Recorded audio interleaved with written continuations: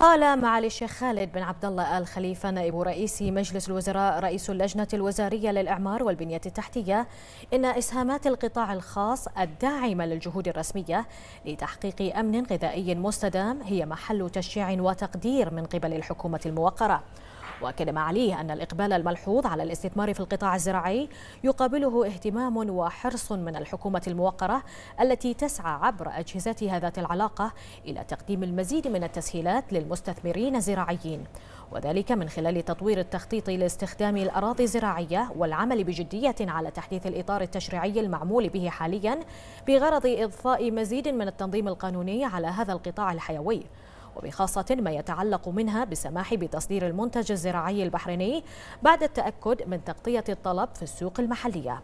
وأضاف معاليه أنه على الرغم من أن الغاية الرئيسية وراء إنشاء أي مشروع استثماري ترتكز على تحقيق الربحية إلا أن العمل في القطاع الزراعي على وجه التحديد بالنسبة إلى البحرين يحمل أبعادا أخرى مهمة.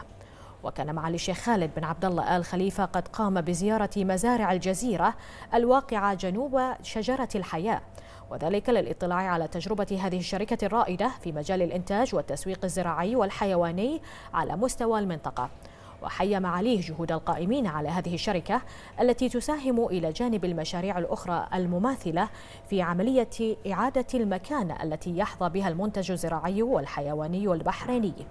كما حث معاليه المستثمرين الزراعيين في البحرين إلى التوجه نحو إنتاج التمور والمساهمة في تحقيق الرؤية القائمة على تحويل المملكة إلى مركز رئيسي في المنطقة لزراعة أجود الأصناف المختلفة. مشيرا معاليه إلى أن اللجنة الوزارية للإعمار والبنية التحتية لا تزال تتدارس ملامح الاستراتيجية الوطنية الشاملة المعنية بتنمية القطاع الزراعي وتطويره. من جانبه تقدم الشيخ راشد بن خليفة الخليفة مدير عام مزارع الجزيرة بجزيل الشكر والتقدير لمعالي الشيخ خالد بن عبد الله الخليفة على تفضله بزيارة المشروع. لافتا إلى ما تشكله هذه الزيارة من دفعة معنوية عالية لتكثيف الجهود في التطوير أو تطوير القطاع الزراعي في البحرين.